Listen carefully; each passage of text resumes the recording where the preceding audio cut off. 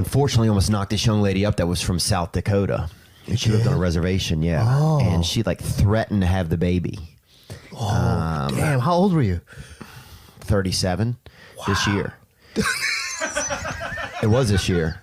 And she wouldn't even be cool